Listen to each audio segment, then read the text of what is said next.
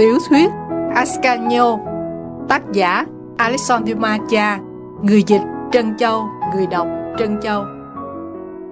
Chương 40 Tiếp tục ác cảm. Ba ngày sau cảnh mà chúng tôi vừa mới kể Một cảnh khác được chuẩn bị ở Louvre.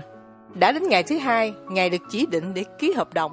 Đã 11 giờ sáng Benvenuto ra khỏi dinh thự Nen Đi thẳng đến Louvre. Trong lòng bối rối những bước chân quả quyết. Bước lên cầu thang đầu tiên trong phòng đợi, nơi ban đầu người ta đưa ông vào, ông thấy ông thái thú và đọc bét, bàn bạc trong một góc với ông trưởng khế. Cô Lôm trắng bệch và bất động như một pho tượng, ngồi ở phía bên kia không thấy gì. Rõ ràng người ta lánh xa nàng để nàng không nghe gì hết. Và cô bé tội nghiệp cúi đầu và cặp mắt vô hồn vẫn ở nơi nàng đang ngồi. Senini đi qua gần nàng, để rơi trên dần trán đang cúi xuống những chữ này. Can đảm lên, tôi đang ở đó. Cô nhận ra giọng ông ngẩng đầu lên và kêu lên vui mừng, nhưng trước khi nàng có thời gian hỏi người bảo trợ, ông đã vào phòng bên cạnh. Một viên quan đón khách nhấc lên trước nhà kim hoàng một cánh cửa bằng thảm và ông bước vào văn phòng của nhà vua. Không cần gì ngoài những lời lẽ chan chứa hy vọng để làm hồi sinh lòng can đảm của cô Lâm. Cô bé tội nghiệp tưởng mình bị bỏ rơi và do đó thấy mình mất hết. Ông Desupin đã kéo nàng sống dở chết dở, dù nàng tin vào Chúa và vào Benvenuto Lúc ra đi, nàng thậm chí đã cảm thấy con tim quá tuyệt vọng, đến mức quên hết lòng kiêu hãnh. Nàng đã van nài phu nhân đi tâm để nằm vào tu viện, sẵn sàng từ bỏ Ascanio, miễn người ta cho nàng không kết hôn với bá tước độc bác. Nữ công tước không muốn có chiến thắng nửa giờ này. Để bà đạt được mục đích thì Ascanio phải tưởng rằng người mà chàng yêu đã phản bội chàng và anh cứng nhắc xua đẩy những lời gian sinh của cô Lâm đáng thương. Lúc đó nàng đứng dậy, nhớ rằng Beverito đã nói với nàng phải mạnh mẽ và bình tĩnh, dù là dưới chân bàn thờ và với lòng can đảm, tuy nhiên pha lẳng với sự suy sụp, nàng để đưa đến Louvre, nơi nhà vua phải ký hợp đồng hôn nhân vào giữa trưa. Ở đó, một lần nữa, sức lực của nàng trong phút chót đã biến mất vì nàng chỉ còn ba cơ mai, thấy Benvenuto đến, chạm vào trái tim của François đệ nhất bằng những câu cầu khẩn hay chết vì đau đớn. Benvenuto đã đến, Benvenuto đã nói như nào phải hy vọng, Colom đã lấy lại can đảm. Cellini khi vào văn phòng của nhà vua, chỉ thấy phu nhân Deton. Đó là tất cả những gì mà ông mong muốn, ông sẽ xin ban ân đi gặp bà nếu bà không có ở đó. Nữ công tước đang lo âu trong chiến thắng, và tuy nhiên bức thư trứ danh đã bị đốt do chính bà đốt. Bà cho rằng bà không còn gì phải sợ, nhưng dù an tâm về quyền lực của bà, bà vẫn sợ hãi thăm dò những nguy cơ của mối tình đó. Nữ công tước luôn là thế, khi những âu lo trong tham vọng của bà nghỉ ngơi, thì đến những nỗi lòng cuồng nhiệt của bà lại sâu xé, được tạo nên bằng lòng kiêu căng và đam mê. Giấc mộng của bà là làm cho Ascanio hùng mạnh và khiến cho chàng được hạnh phúc. Nhưng Ascanio, nữ công tước nhận thấy, dù có nguồn gốc quý tộc, vì có dòng họ gách đi, vốn xưa kia là lãnh chúa ở Florence, lại không ao ước vinh quang nào hơn là làm nghệ thuật. Nếu chàng thấy có gì đó trong niềm hy vọng, là một dạng bình thuần khiết, bình có quai hay tượng. Nếu chàng có tham vọng có những viên kim cương và ngọc trai, những của quý trên mặt đất, làm gì để tạo ra nạm chúng vào vàng, những đóa hoa còn đẹp hơn hoa của trời với giọt sương động. Những tước hiệu, danh dự đối với chàng chẳng là gì cả, nếu không nâng cao tài năng của chàng, nếu không tạo danh tiếng cho cá nhân chàng, thì anh chàng mơ mộng vô ích làm gì trong cuộc đời tích cực và náo động của nữ công tước. Trước trận dông tố đầu tiên, cành cây tế nhị đó sẽ bị bẻ gãy với những đóa hoa mà bà đã mang, với những loại trái cây mà bà đã hứa. Có lẽ vì thờ ơ, chàng sẽ để mình buông trôi theo những dự định của tình nữ vương giả. Những cái bóng nhợt nhạt và u buồn của chàng chỉ sống bằng hoài niệm. Ascanio cuối cùng xuất hiện trước nữ công tước Đê Tâm, đúng như chàng vốn có, bản chất tuyệt vời và khả ái, nhưng với điều kiện vẫn luôn ở trong bầu không khí thuần khiết và bình lặng. Đó là một đứa trẻ đáng yêu không bao giờ thành đàn ông. Chàng có thể tận tụy với tình cảm chứ không bao giờ với những ý tưởng sinh ra để lan tỏa tình cảm âu yếm nhau. Chàng sẽ gục ngã với cú sốc khủng khiếp của những sự kiện và tranh đấu. Đó là người tình mà phu nhân Đê Tam cần, nhưng không phải là người đáp ứng cho tham vọng của bà. Đó là những suy nghĩ của nữ công tước khi Benvenuto bước vào. Đó là những đám mây trong suy tưởng của bà đang khiến dần trán u ám và bồng bềnh quanh bà. Hai kẻ thù đo lường ánh mắt của nhau, một nụ cười nhão báng xuất hiện cùng lúc trên môi họ. Một ánh mắt tương tự nhau được trao đổi và chỉ ra cho từng người rằng họ sẵn sàng tranh đấu và trận đấu sẽ khủng khiếp. Hẹn sớm gặp nhau, anh nghĩ, người đó là một tài phong lao khắc nghiệt mà người ta muốn thắng, một địch thủ xứng tầm với mình. Nhưng hôm nay thực tế có quá nhiều cơ may chống lại ông ta và vinh quang của mình không lân lắm khi hạ gục hắn. Chắc chắn phu nhân Đê Tâm, Benvenuto tự nhủ, bà là chủ nhân trong giới nữ và hơn một trận đấu với đàn ông thì ta còn ít nhọc nhằn hơn trận đấu với bà. Cho nên hãy yên tâm, vừa đấu với bà bằng vũ khí khách sáo, ta cũng đấu với bà bằng mọi thứ vũ khí của ta. Có một khoảnh khắc im lặng, trong đó hai đối thủ độc thoại một mình. Nữ công tước phá vỡ im lặng đầu tiên. Ông rất chính xác, tiên sinh Bessellini. Phu nhân Đề Tom nói, đúng 12 giờ trưa, hoàng thượng phải ký hợp đồng của bá tước Độc Bách. Mới chỉ 11 giờ ba khắc, cho phép tôi xin lỗi dùm hoàng thượng, không phải ngài đến trễ mà là ông đến sớm. Tôi rất sung sướng thưa phu nhân, đã đến quá sớm, vì sự nông nóng này cung cấp cho tôi vinh dự đối đầu với bà, vinh dự mà tôi luôn muốn có, và tôi xin cảm ơn sự tình cờ đã đoán trước mong ước của tôi. Ôi, Benvenuto, nữ công tước nói, có phải những thất bại làm cho ông trở nên su nịnh chăng? Thất bại của tôi, không, thưa phu nhân, nhưng là thất bại của những người khác. Tôi luôn là nịnh thần bị thất sủng, và đây là bằng chứng, thưa phu nhân. Nói xong, Selene rút ra từ dưới chiếc áo choàng đó qua quệ vàng của Ascanio mà ông mới vừa hoàn thành vào sáng nay. Nữ công tước kêu lên ngạc nhiên và vui mừng. Chưa bao giờ có món nữ trang nào bắt mắt bà đến thế. Chưa bao giờ những đó hoa mà người ta thấy trong giường ma thuật truyện ngàn lẻ một đêm được ném trước mắt một vị thần hay tiên nữ một cảm giác lóa mắt đến thế. À, nữ công tước kêu lên và chìa tay ra về phía đó qua. Ông đã hứa với tôi, Benvenuto, nhưng tôi thú nhận với ông rằng tôi không tin lắm. Sao bà lại không tin vào lời hứa của tôi? Selini nói và cười gian, bà đang thoa mã tôi, thưa phu nhân. Ôi, nếu ông hứa sẽ trả thù thay vì một cử chỉ lịch thiệp, tôi sẽ chắc chắn hơn về sự chính xác của ông. Và ai nói với bà rằng đó không phải là cả hai thứ cùng một lúc? Benvenuto tiếp lời và rút tay về, khiến đó qua vẫn ở trong tay ông. Tôi không hiểu ông, nữ công tước nói. Bà có thấy rằng nạm vào một giọt sương, Benvenuto nói và chỉ cho nữ công tước xem viên kim cương đang rung rung ở cuối cánh hoa. Và nó giống là công cụ hối lộ của Charlecan, là giá của một cuộc đổi chác nào đó là cướp lãnh địa Milan khỏi nước Pháp, đã có kết quả đó chăng? Ông nói thật bí hiểm, nhà kim hoàng thân mến, rủi thai đức vua sắp đến, và tôi không có thời gian để đoán câu đố của ông. Tôi sẽ nói ra chữ đó với bà.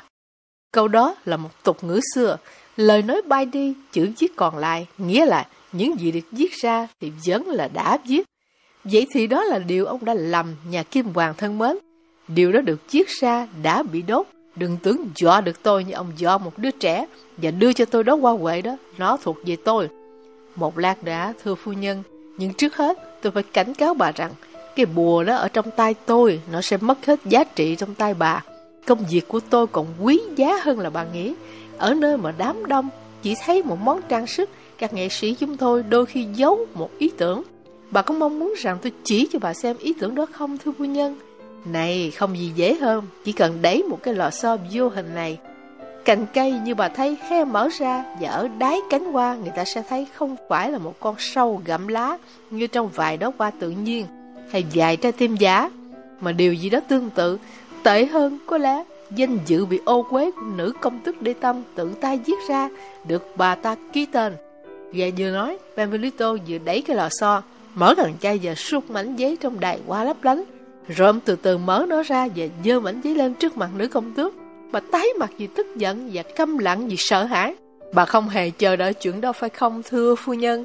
Benvenuto nói tiếp rất bình thản và xếp thư lại rồi đặt vào đó qua. Nếu bà biết các thói quen của tôi, thưa phu nhân, bà sẽ ít ngạc nhiên hơn.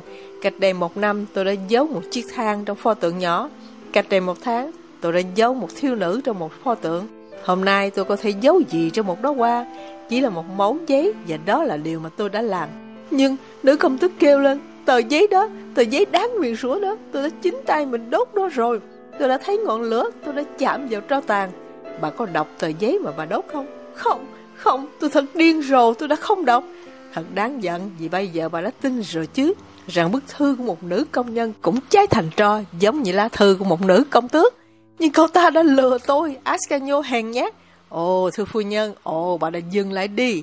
Đừng ngờ giữa cậu bé trong trắng và thuần khiết đó. Mà dù để lừa bà thì chỉ dùng những thứ vũ khí mà bà dùng để chống lại cậu ấy. Ồ không không, nó không lừa bà đâu. Nó không mua lại đời mình, không chuộc lại cuộc đời của Colom bằng một trò lừa đảo. Không, chính nó cũng bị lừa. Ai đã lừa cậu ấy? Nói cho tôi biết đi. Một cậu bé, một sinh viên, là người đã đâm bị thương đồng minh của bà, tử tước được mặt man. Một cậu sắc Opry nào đó mà tôi chắc tử tước đã mặt man đã nhắc bà. Phải, nữ công tước thì thầm, phải, mặt man đã nói với tôi rằng cậu sinh viên đó tên Jacques Opry tìm cách vào đến chỗ của Ascanio để lấy lá thư đó. Cho nên bà đã xuống chỗ Ascanio. Nhưng các cậu sinh viên rất lanh lẹ, như bà biết đấy, và cậu sinh viên của chúng ta đã đi trước bà. Trong khi bà ra khỏi dinh thự đê tâm, thì cậu ta đã luồn vào buồng giam của bạn. Và trong khi bà vào đó thì cậu ta đi ra. Nhưng tôi không thấy nó, tôi không thấy ai cả. Người ta không nghĩ đến chuyện nhìn khắp nơi. Nếu bà nghĩ đến chuyện đó, bà sẽ nhấc một chiếc chiếu lên thì đã thay một cái lỗ liên thông với buồng giam bên cạnh. Nhưng Ascanio, Ascanio, khi bà giàu nó đang ngủ phải không? Phải. Vậy thì trong khi nó ngủ, Opry bị nó từ chối trao thư, đã lấy thư trong túi áo và đặt vào đó lá thư của mình. Bà đã làm gì cái bao thư? Bà tưởng rằng đã đốt thư của nữ công tước Đê Tâm. Không, bà đã đốt một bức thư tình của cô sẹt ve Perret Popino. Nhưng tình Opry nó đã đâm bị thương mặt man. Tình vô lại đó sức mưu sát một quý tộc, chắc chắn sẽ trả giá cho sự hỗn xược của hắn. Hắn ở tù, hắn phải bị kết án. Cậu ta tự do rồi và chính bà thưa phu nhân mà cậu ấy phải mang ơn về sự tự do của mình. Sao thế được? Chính là người tù đáng thương mà bà muốn xin nhà vua François đệ nhất như tôi để ân xá cho cậu ta.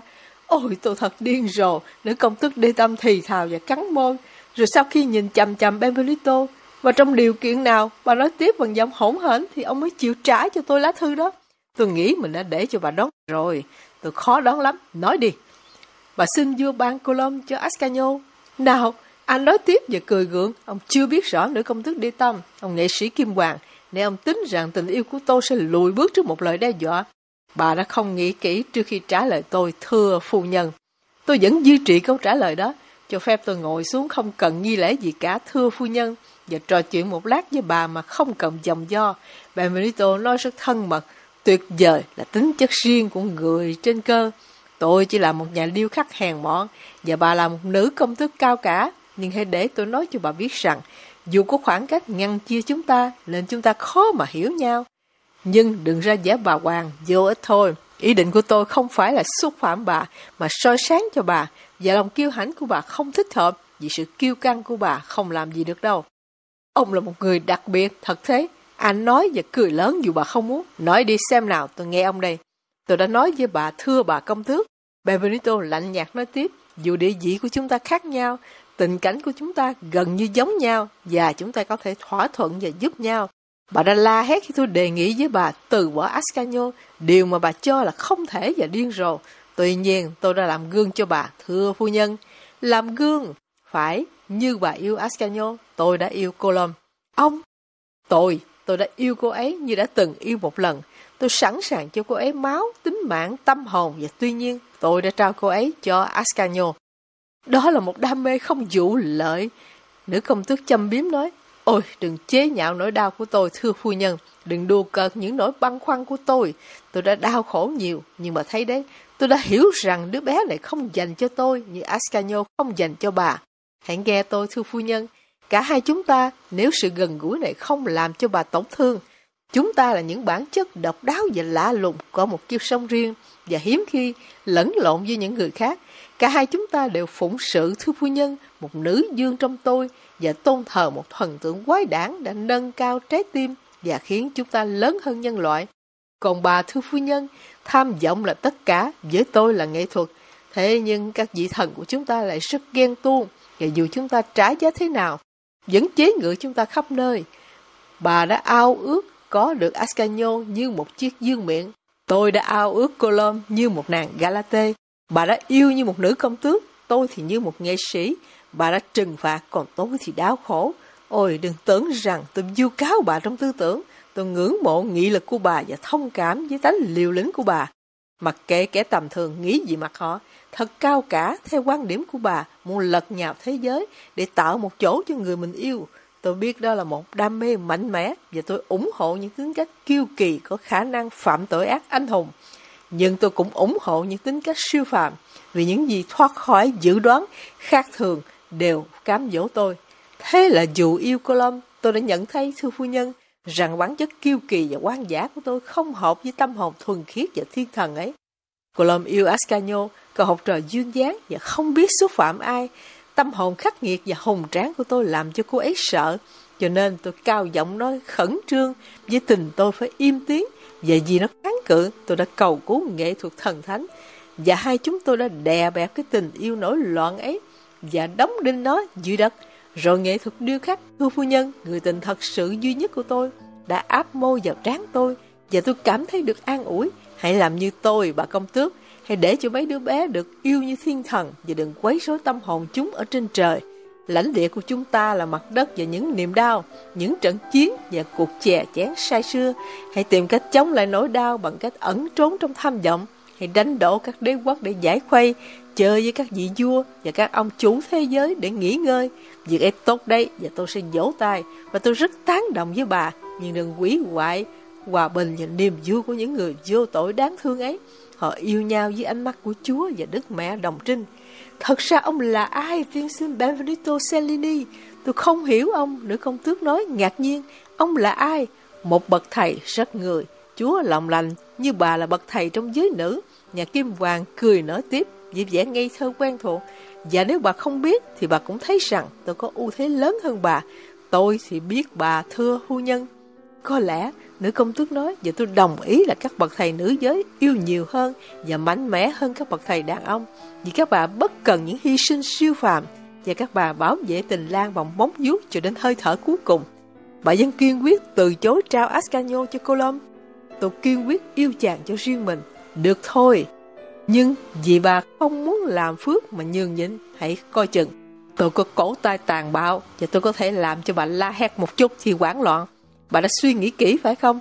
Bà quyết định từ khước tác hợp giữa Ascanio và Coloma. Ta kiên quyết, nữ công tước nói tiếp. Tốt, ai đấy vào vị trí tấn công. Benvenuto kêu lên vì trận chiến đã bắt đầu. Lúc này cánh cửa mở ra, một quan đón khách báo nhà vua đến.